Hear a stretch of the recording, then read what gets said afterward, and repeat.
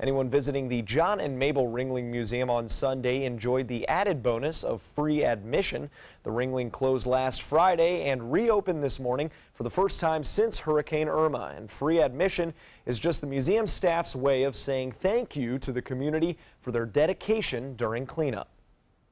We were extremely lucky here at the Ringling Museum that we really have not suffered any major damage. We have a few down trees, as you can see behind me, and some debris like a lot of people here experienced. But our staff and community has been extremely dedicated over the past few days.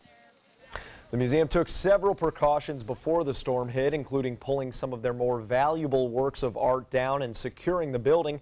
Luckily, the structure and its collection inside remained safe.